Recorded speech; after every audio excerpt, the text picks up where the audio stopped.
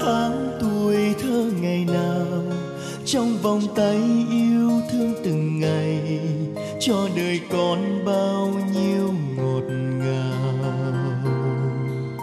Giờ đây trong cơn mơ, con luôn gọi mẹ, nơi bao la giữa dòng sông xanh sinh con ra trong bao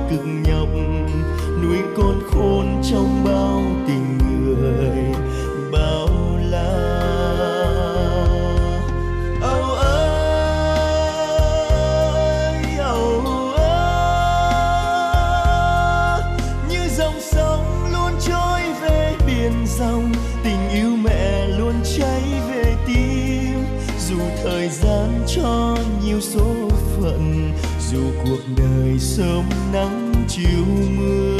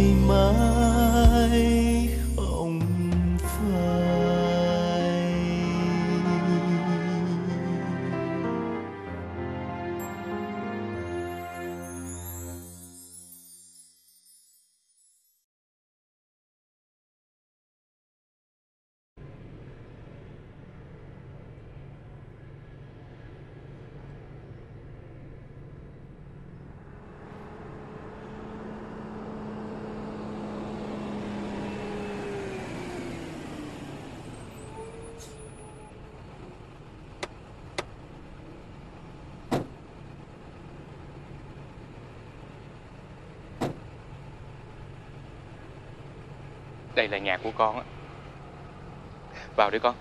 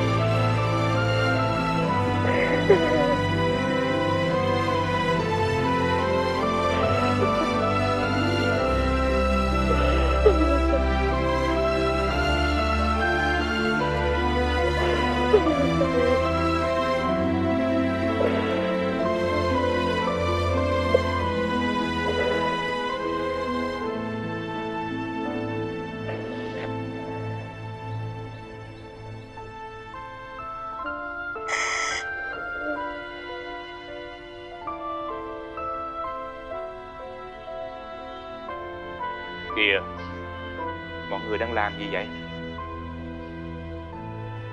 Hôm nay là ngày vui Chứ đâu phải nghĩa chia tay Mà mọi người khóc lóc tưng bừng vậy. Làm tôi liên tưởng đến đoạn phim bi thảm Cái phim đang quay kìa. Ừ Em nói ra đang chuẩn bị nấu nướng gì cho quốc đâu. Con phải được ăn Để bồi dưỡng sau những ngày nằm viện. Dạ. Em nhớ mà. Mẹ xin lỗi. Chắc là do mẹ xúc động quá Nhìn mẹ như thế này con vui lắm. Những giọt nước mắt hạnh phúc mà phải không mẹ? Gia đình mình sum họp như thế này Nhưng mà không có Uyên Nhi. Thật là tiếc. Ừ Uyên Nhi nó nói sẽ gọi điện thoại về sau. Dạ. Vào nhà đi con. Hôm nay mẹ nấu nhiều món ăn lắm. Vậy hả mẹ? Đi con Má Thảo Mình vô ăn đi.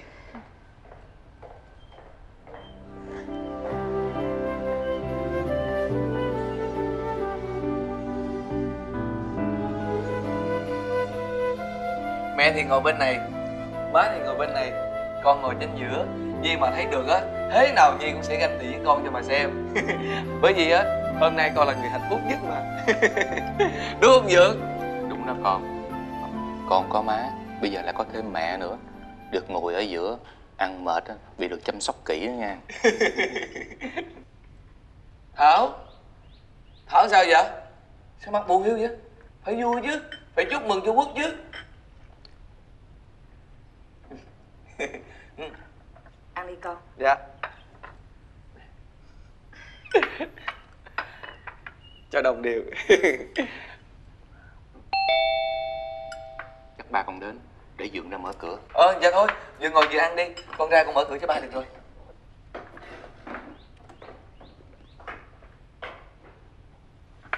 Trước khi con về Anh đã dặn rồi Đừng làm bất cứ điều gì để con nghi ngờ. Bác sĩ dặn kỹ Đừng để cho nó xúc động mạnh. Em xin lỗi. Nhưng sao cứ nhìn thấy con em không sao kìm nén được. Chết. Còn ông liêm Yên tâm đi. Tôi đã dặn rồi. Điều cần nhất bây giờ Là giữ cho tâm lý nó thoải mái. Dù thời gian không còn bao lâu nữa.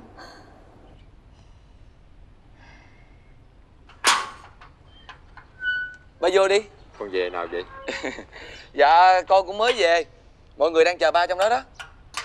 Ba vô đi dạ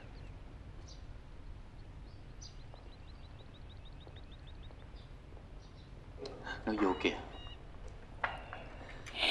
Mọi người ba con đã đến rồi. Chào cả nhà.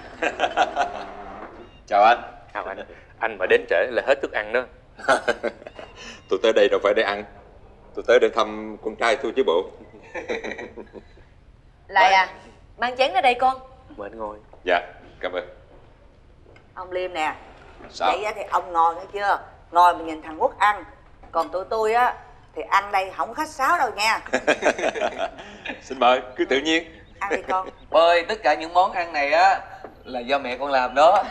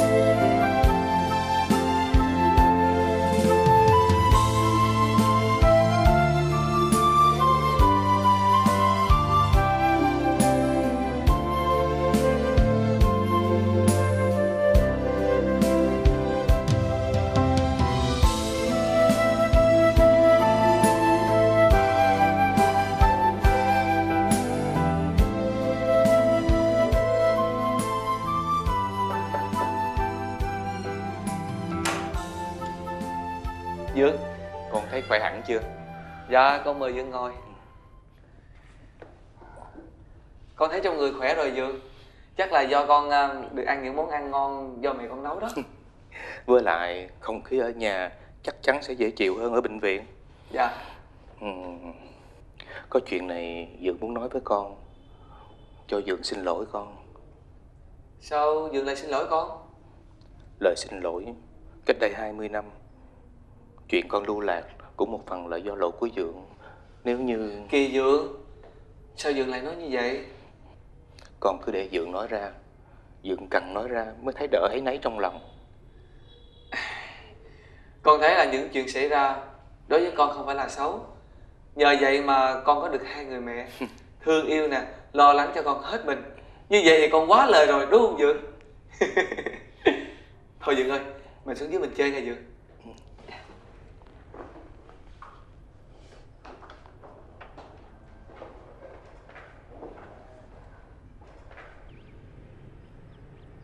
chẳng lẽ chúng ta lại giấu giếm con một lần nữa hay sao? Phải vậy thôi bà. Nếu con mà biết được sự thật Thì nó sẽ càng suy sụp hơn. Và như vậy thì Thời gian còn lại của nó Sẽ càng rút ngắn hơn. Trong chuyện này liệu có sự nhầm lẫn gì không? Cầu mong cho đây chỉ là cơn ác mộng. Sao trời lại tự thách chúng ta nghiệt ngã đến như vậy Tôi chưa bù đắp được gì cho con mà. Bà đừng bi lụy quá. Ngay cả tôi cũng không dám tin vào sự thật Khi nghe bác sĩ nói. Bây giờ Mình cần phải dũng cảm Để đối diện với sự thật. Chúng ta Cần phải thống nhất với nhau một điều là Hãy sống thật ý nghĩa với con Được ngày nào Hay ngày đó. Sao trời lại tự thách thằng Quốc đến như vậy từ khi mới sanh ra. Nó đã phải chịu sự chia lìa xa cách. Giờ chúng ta tìm được nó, Thì lại phải nhìn thấy sự thật nghiệt ngã đến như vậy. Mỗi lần nhìn thấy con đau đớn, Ruột tôi như là bị cắt đứt, Không thể nào chịu đựng được. Bây giờ, Tôi mới ngộ ra rằng Quả. Hay phúc. Đều do chính mình tự chuốc lấy, Ông Trần đã ban cho, Thì cũng sẽ lấy lại. Nếu mình không biết trân trọng. Từ khi biết được sự thật, Trong đầu của tôi lúc nào cũng trống rỗng. Tai thì lúc nào cũng nghe những âm thanh ầm ầm. Không thể nào chống lại nổi. Mặc dù đã cố gắng trở lại bình thường, Nhưng không thể nào được. Ruột lúc nào cũng đau như cắt vậy. Thằng Bảo, Sao nó lại phải chịu cảnh đáng thương như vậy? Tại sao vậy?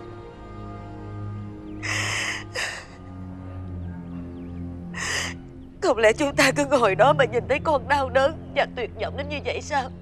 Không lẽ chúng ta không làm được gì cho con hay sao? Tôi có liên lạc với mấy người bạn ở nước ngoài Để coi coi Có thể chữa trị được cho con hay không. Nhưng mà Bà cũng nên chuẩn bị tâm lý sẵn đi. Tình hình không được khả quan lắm.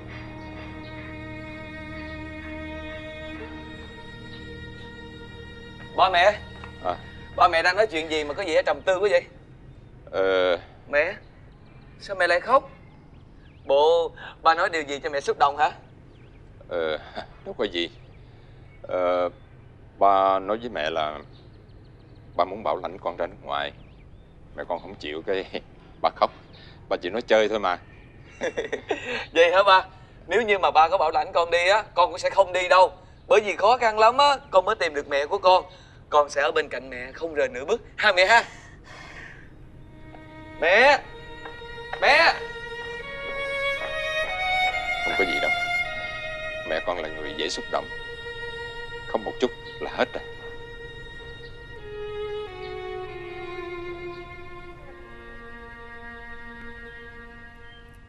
Dì về quê liền sao? Anh Quốc hỏi Rồi dì nói sao? Hay để mai rồi về? Anh Quốc đang vui mà. Xếp đi.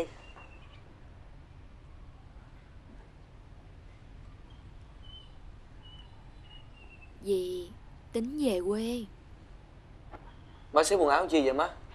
À, Má tính về quê. Ở dưới có gì quan trọng hay sao? Mà má về gấp dữ vậy? Ở dưới đó đó Không có má ở nhà Tụi nhỏ nó thả bò vô nhà mình.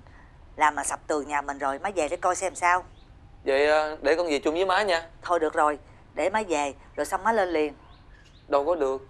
Hay là để mơ về được không má? Má sốt ruột quá Tính về để coi sao. Kìa chị Sao chị lại về gấp vậy? Tôi về rồi lên liền mà. Sao chị không ở lại đây với con hết cả ngày hôm nay rồi hãy về? Về đột ngột như vậy Con nó buồn. Có gì đâu mà buồn. Không có tôi á thì cũng có chị. Má về rồi má sẽ lên liền. Ừ, Có gì á má sẽ điện thoại cho con nha. Tôi đi. Chị Tâm à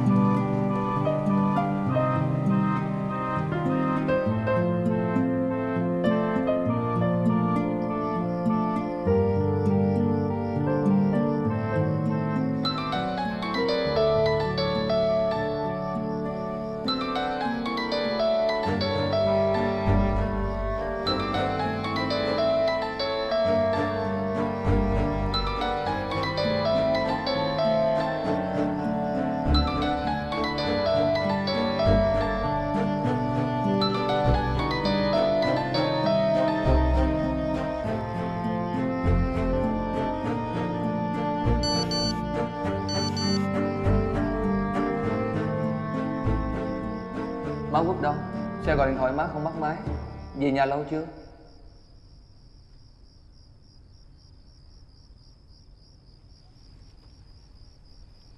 Về nhà rồi Có lẽ vì mệt Nên ngủ thiếp Anh yên tâm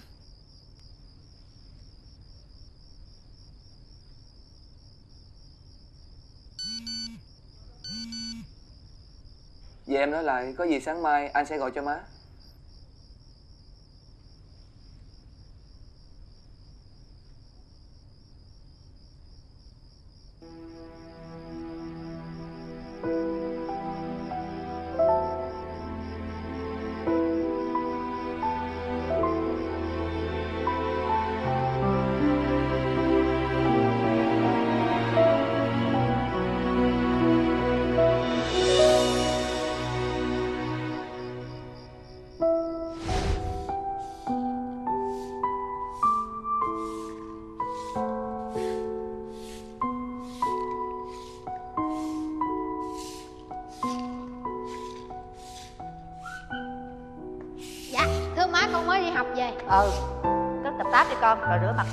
Cơm.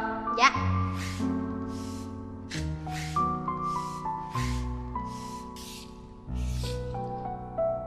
Ăn đi con. Dạ, cảm ơn má. Ừ. Ừ. Dạ. Ủa quốc? Dạ. Con bị gì vậy? Sao tự nhiên tay con sưng phù vậy? Hả? Con không biết nó nó bị vậy. Lâu lâu nó bị cái tự nhiên nó hết mà có ăn gì bậy bạ không? Ừ, Dạ không? À, sáng nay con ăn cái trứng cá. Ăn quá trời luôn. Chín đó má Ăn ngọt ơi là ngọt luôn. Trái trứng cá. Có gì đâu sao bị sưng phù lên trời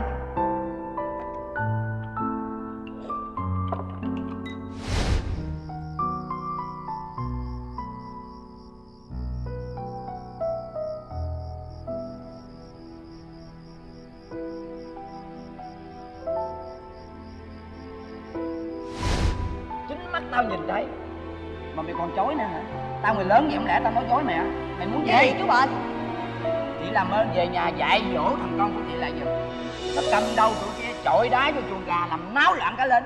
Con đâu có làm đâu. Mày còn chối nữa hả? Chính mắt tao chạy ra nhìn thấy mày cầm cục đá. Còn mày còn chối nữa hả? Hả? Trời, trời, trời, chú bệnh ơi từ từ dạy cháu chú bệnh mấy đứa này á là phải dạy nó. Chứ nuông chiều nó là không có được đó Con nói phải dạy cho nó biết sợ con đã nói rồi mà Con không có làm Sao lại đánh con chứ. Ủa, tao tuổi cha tuổi chú mày. Đánh mày không được sao? Hả? Hả? Hả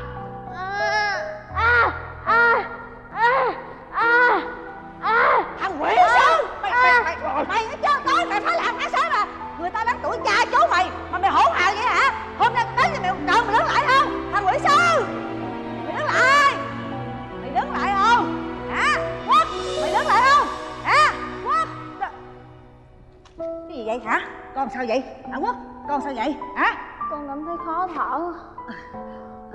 Không sao đâu con không sao đâu con. Mà con nữa má giả bộ rượu con vậy á để cho ổng đừng đánh con. Chạy gì mà chạy cố mạng vậy? Dạ con biết. Nhưng mà mỗi lần con chạy nhanh á Là con cảm thấy khó thở à. Không sao không sao không sao hết không sao hết. Tại vì con chạy gấp quá cho nên tim không có đập nhanh vậy đó nghe chưa? Thiệt tình à ông đánh con có đau không đưa má coi coi. Có đau không? Dạ thằng cha này thiệt tình à. Con người ta đẻ ra để cho cả đánh vậy đó à. Nè lần sau gặp ổng á đánh sao ra nghe chưa? Mà con cũng vậy nữa. Chơi mấy cái lũ phá là phá xếp kia cho bị dạ vậy hả? Dạ con biết rồi. Đỡ mệt chưa? Đi về con. Còn đau không? Dạ. Không đi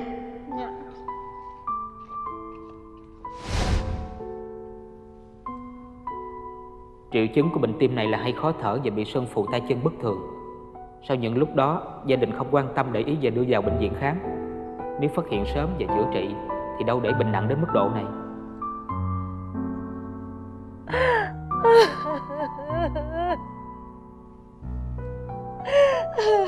Quốc ơi chính má là thủ phạm hại đời con rồi quốc ơi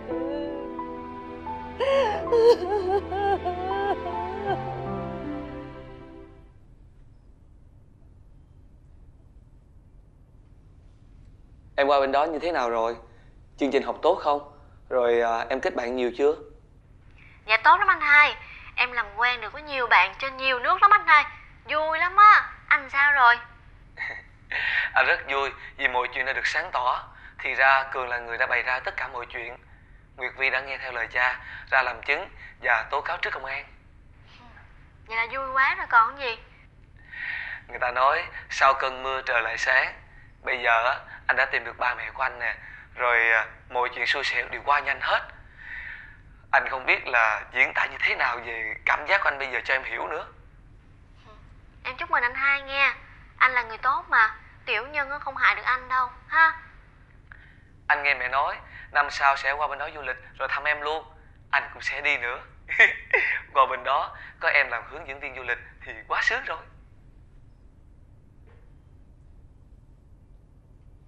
Uyên Nhi, Em đâu rồi? Em đi đâu vậy? Uyên Nhi ơi!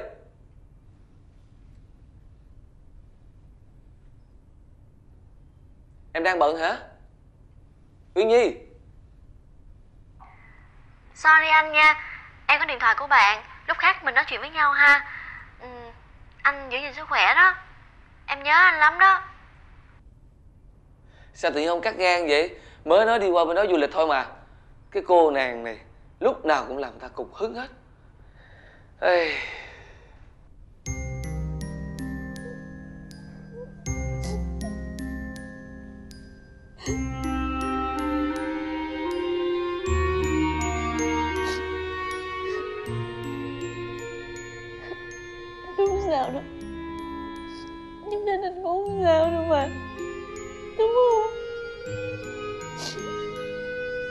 Anh phải bình phục Anh phải bình phục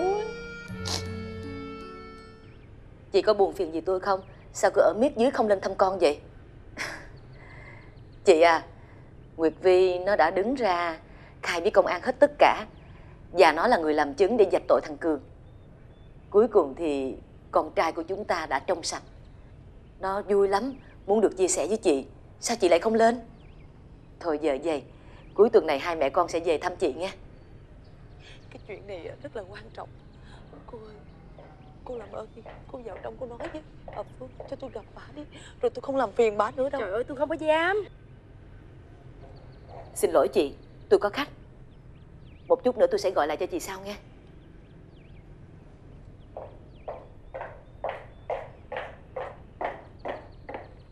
Cô ơi tôi xin cô cô giúp tôi đi. Cái chuyện này quan trọng lắm Trời ơi tôi nói không có được mà. Bà chủ mà biết á bà bà chủ la tôi chết luôn á cô ơi. Dạ không sao đâu. Tôi chỉ gặp bà chủ tôi nói một lời rồi tôi ly liền. Tôi không bao giờ tôi làm phiền nữa đâu. Cô làm ơn giúp tôi đi. Cô Lai à Cho bà ấy vào.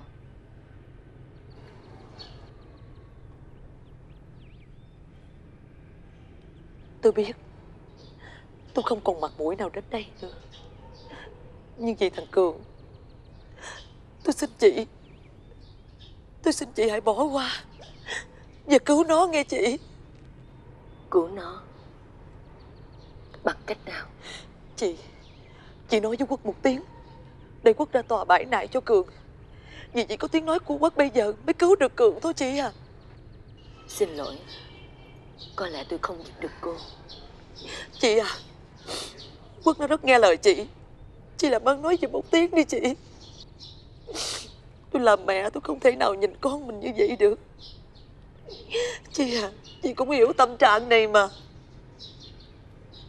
Tôi có đến gặp ông liêm nhưng ông thắng từng một mực từ chối. Bây giờ chỉ có một mình chị. Chị mới cứu được thằng cừa con tôi thôi. Chị à. Nhưng tôi không tự quyết định được. Thành thật xin lỗi cô.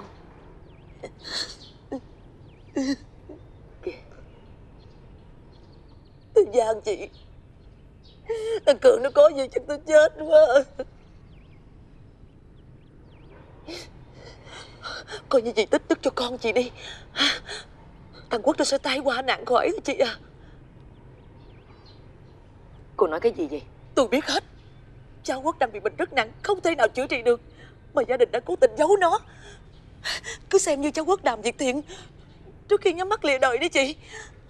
Chị à Hãy để cho cháu được xuôi tay khi lên thiên đường. Tôi xin chị. Chị của chị mới cứu được con tôi thôi. Tôi xin chị Chị cứu con tôi đi chị. Tôi xin chị mà. Cô đừng nói bay Chị ơi, con tôi sẽ chết đó. Tôi xin chị mà. Chị, Tôi Kìa. Quật à. Con làm ơn cứu thằng Cường đi con. Chỉ có con mới cứu được thằng Cường thôi. Con ơi, con giúp cô đi con. Cô ấy mới vừa nói gì vậy mẹ? Con bị bệnh gì? Mà tất cả mọi người đều giấu giếm con. Một căn bệnh đó không thể nào chữa trị được hả mẹ?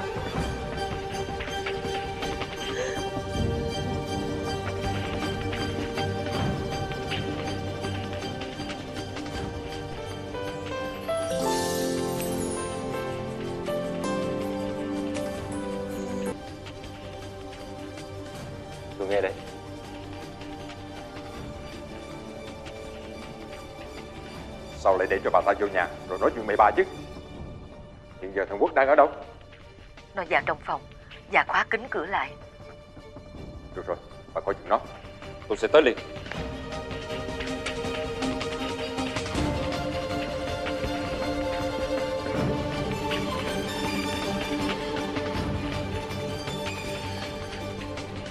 Gì vậy con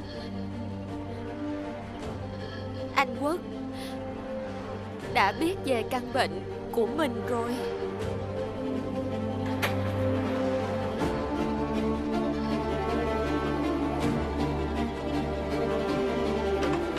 Quốc ơi, Quốc à Là ba đây con. Mở cửa cho ba đi. Ba muốn nói chuyện với con. Quốc.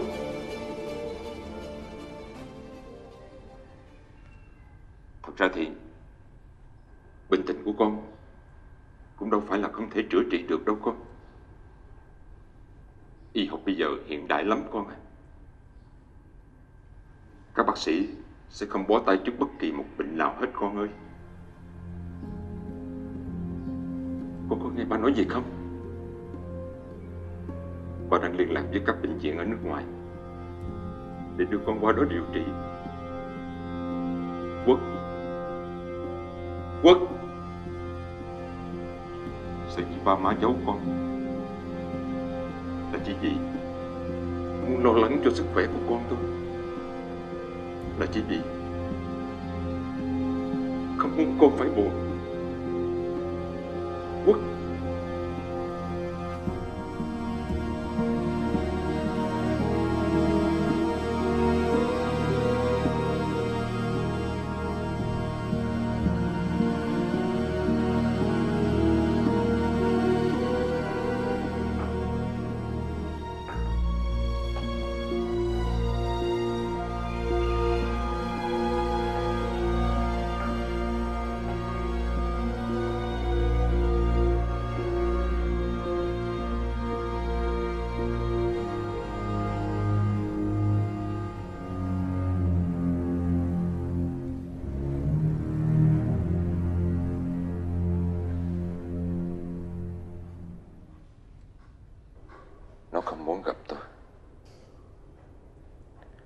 Là mình. Cứ để nó yên tĩnh một mình lúc này đi.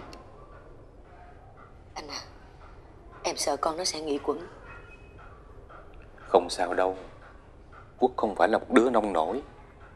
Nó đang bị sốc nặng. Tất cả là lỗi của bà Xuân. Nếu không thì Đừng. Đừng nên trách ai hết. Tất cả tội lỗi là do tôi. Tôi ăn ở thức đức cho nên mới chịu sự trừng phạt như vậy. Nhưng nếu trừng phạt, Xin hãy trừng phạt tôi. Đừng nên trút vào đầu của con tôi. Nó đã chịu quá nhiều thiệt thòi rồi. Giờ lại thêm số phận nghiệt ngã như vậy.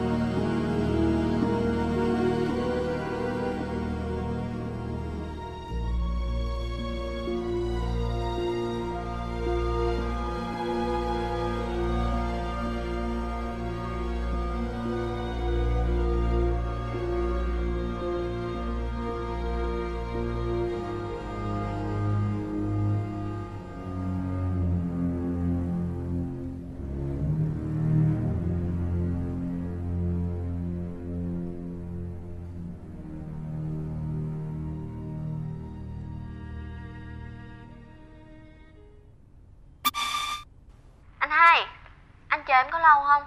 Em xin lỗi anh nha. Em nhớ đến giờ nói chuyện với anh. Nhưng mà hôm nay em có tiết kiểm tra cho nên là về hơi trễ. Đừng giận em nha. Anh hai, để em kể anh nghe chuyện này. Hôm nay á, khi mà thầy nghe em nói về Việt Nam Thầy rất là ngạc nhiên. Thầy có vẻ háo hức muốn đến Việt Nam một lần Để khám phá những gì em kể đó. Ủa anh hai? Anh hai Anh đâu rồi? Không lẽ anh giận em thì sao Anh hai Có phải anh sẽ chết không? Anh hai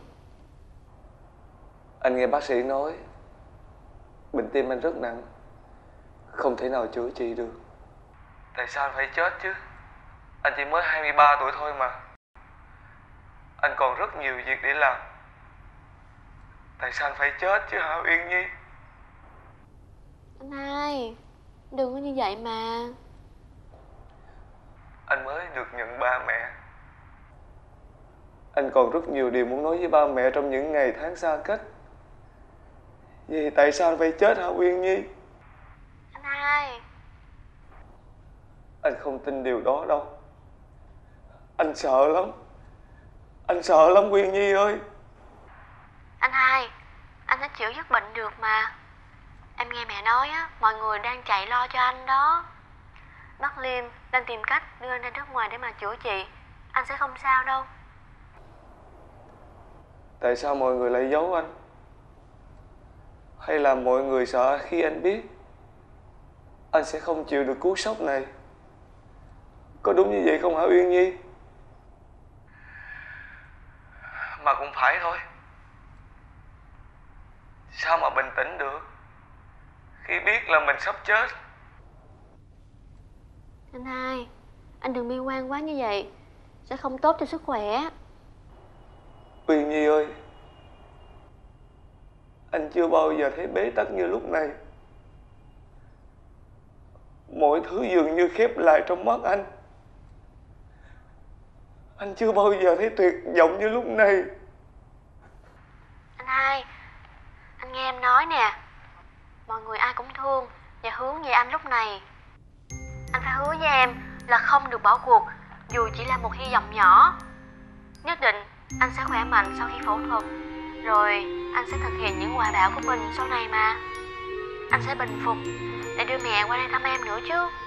Anh quên là đã nói với em vậy sao? Từ nay, Hai anh em mình sẽ trò chuyện với nhau thường xuyên nha anh hai. Em sẽ để mặt da hô sáng đèn Em mà chờ anh hai đó.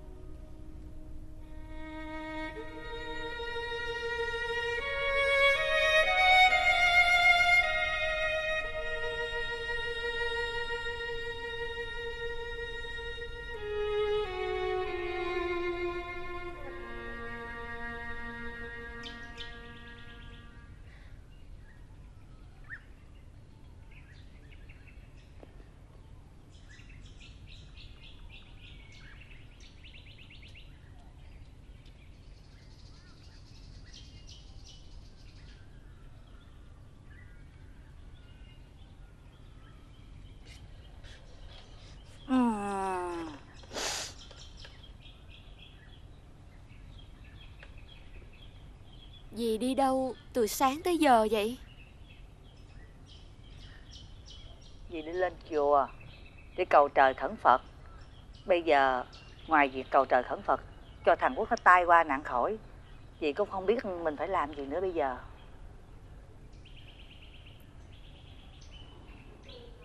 Có điện thoại gọi cho dì Có lẽ là của bác Phương gọi. Ừ được rồi để lát nữa dì gọi lại cho bà ta. Con sao vậy hả? Con bệnh hả? Để dì cạo gió cho con nghe. Con không biết nữa. Cứ thấy mắt ói hoài à. Có lẽ con ghê mùi tanh cá.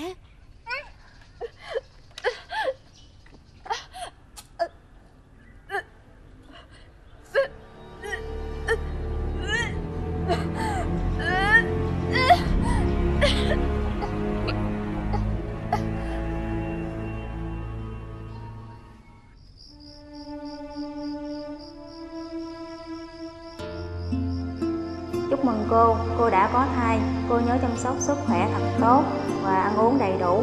Cô nhớ đến khám thai theo định kỳ.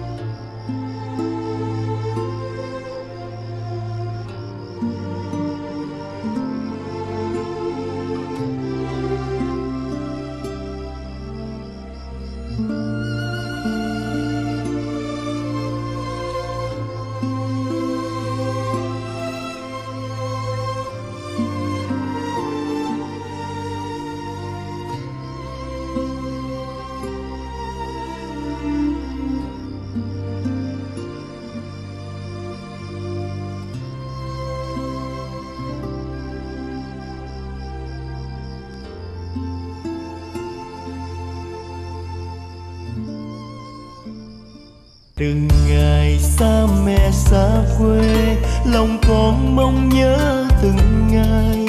Nhớ về con đò quê nhà, ngày ngày chở mẹ qua sông. Ngày ngày trong về nơi xa, nơi quê hương lu kéo từng ngày. Mái nhà nơi làng quê nghèo, che chờ sang nắng chiều